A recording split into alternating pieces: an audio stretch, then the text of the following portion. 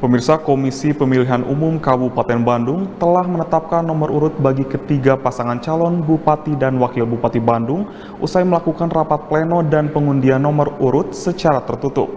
Usai penetapan nomor, ketiga paslon Bupati dan Wakil Bupati Bandung mengikuti deklarasi penerapan protokol kesehatan dalam pilkada sesuai maklumat Kapolri. Usai menjalani rapid pleno secara tertutup di Aula Pajajaran Hotel Sultan Raja Soreang Kabupaten Bandung pada Kamis pagi, secara resmi Komisi Pemilihan Umum Kabupaten Bandung menetapkan nomor urut untuk ketiga pasangan calon yang akan bertarung pada Pilkada Serentak 2020 bulan Desember mendatang. Penetapan nomor urut tersebut merupakan hasil undian yang dilakukan oleh KPU dan disaksikan oleh sejumlah pihak terkait seperti Bawaslu, TNI Polri, dan sejumlah perwakilan simpatisan dari masing-masing pendukung pasangan calon. Untuk urutan nomor satu jatuh pada pasangan Kurnia Agustina dan Usman Sayogi yang diusung oleh Partai Golkar dan Gerindra. Alhamdulillah pada hari ini sesuai dengan aturan dan kesepakatan kami Nia Usman pasti Sabirulungan datang memenuhi undangan dari KPU dan Bawaslu Kabupaten Bandung untuk diadakan pengocokan penomoran dan Alhamdulillah kami diamanati nomor urut satu. Bu arti nomor satu apa bagi ibu? Buat saya semua nomor baik.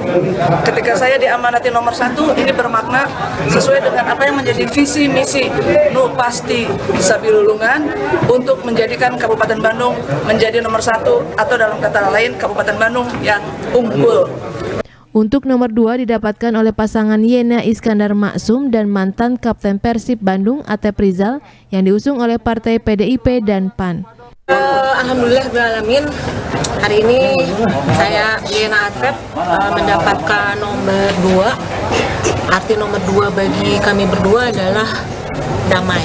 Jadi kami cinta damai. Apa pun nomornya yang penting bagaimana saat ini di tengah pandemi uh, COVID-19 kita bisa melindungi masyarakat uh, dari ancaman COVID uh, tentunya dengan protokol kesehatan di era new normal ini. Ada jargon harapan Sangat sesuai, alhamdulillah. Ada jargon. Jargonnya bu, nomor dua.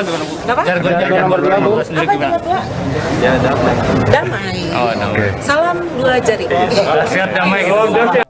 Sementara untuk nomor urut terakhir yakni tiga didapatkan oleh pasangan yang diusung oleh Partai PKB, Nasdem, PKS, dan Demokrat yakni Dadang Supriyatna yang berpasangan dengan selebritas Sahrul Gunawan. Nomor tiga merupakan angka yang sempurna menurut saya bahwa Islam, iman, ihsan. Konteks kehidupan sehari-hari tanpa ihsan itu tidak sempurna. Maka urutan tiga yang sangat sempurna. Dan tiga menurut kata Sunda Sri Lungu Dunia.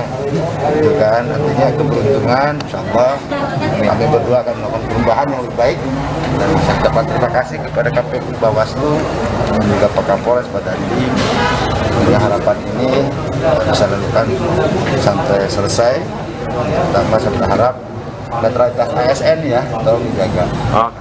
Iya. Katakan bahwa kami eh, sudah menandatangani fakta integritas dan ini harus diikuti secara fair, secara adil dan berharap eh, pesta demokrasi yang dilaksanakan di Kabupaten Bandung ini eh, bisa menghasilkan yang terbaik. Biarkan masyarakat yang memilih, yang ada giringan dan intimidasi, Kapolresta Bandung Kombes Polisi Hendra Kurniawan menghimbau pada seluruh masyarakat Kabupaten Bandung yang memiliki hak pilih pada pesta demokrasi tersebut untuk memilih sesuai dengan keinginan dan keyakinan hati nurani masing-masing serta tidak mempedulikan intimidasi atau intervensi dari tim pemenangan paslon tertentu.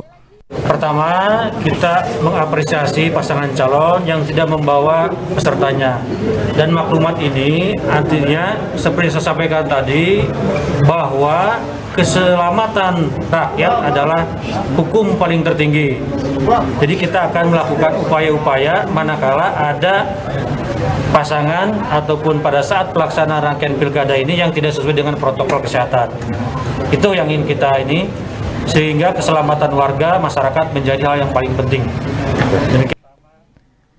Untuk selanjutnya sesuai dengan rangkaian agenda Pilkada Serentak 2020, tiga paslon Bupati dan Wakil Bupati Bandung akan memasuki masa kampanye selama 71 hari yang akan dimulai pada 26 September hingga 5 Desember 2020.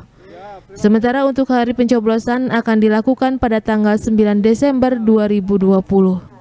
Yuwana Kurniawan, Bandung TV.